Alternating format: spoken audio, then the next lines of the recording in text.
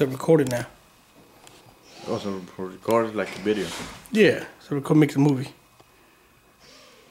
So here we are at um, the basement project we're doing. So we're dropping in uh, new outlets, new recess lights, putting up five TVs, and we took down this wall here and opened up the basement. As you can see, we opened up the basement, and we're framing this section.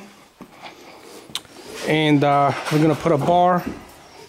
We're gonna put a bar right here with a couple of lights. You got your GFI switch. And then we're gonna put ceramic tile all the way on the floor here. Okay? So I'm coming into the into this other room here.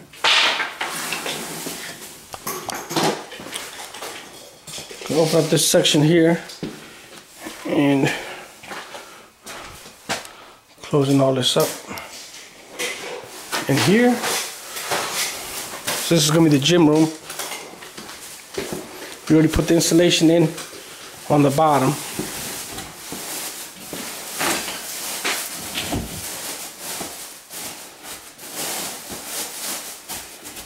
there you go and then we're opening up a little door to put in here to make this into a little closet section.